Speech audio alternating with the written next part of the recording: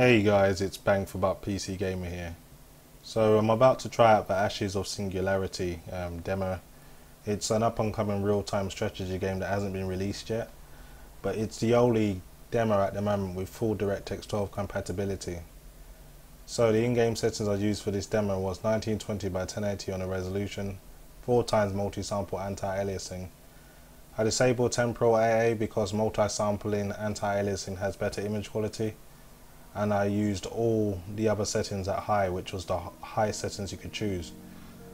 So I'm going to use the in-game benchmark and uh, compare the DirectX 12 API with the DirectX 11. So I'm going to compare that with my NVIDIA GTX 980 Ti and my Intel i7 4790K with a 4.8 GHz overclock and 16 GB of Corsair Pro Series Vengeance which runs at 2400 MHz.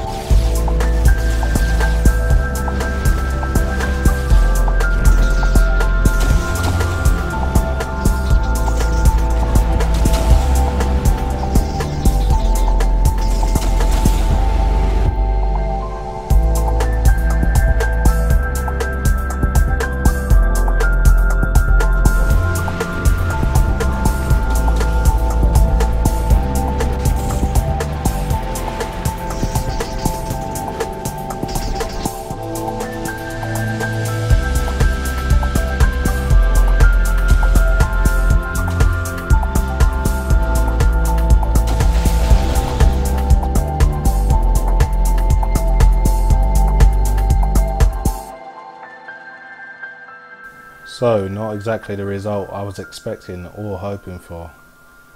It would seem DirectX 11 at the moment with NVIDIA drivers is definitely a lot more optimized than the DirectX 12 drivers. And uh, NVIDIA publicly came out and said that this demo doesn't um, re represent what DirectX 12 performance would be in real games, but um, I would have to disagree. I mean, this is a game that's going to use this this kind of engine, and it's going to use DirectX 12. So, um, in my eyes, this is real. This is a fair representation of what um, DirectX 12 performance will be like with this game in particular.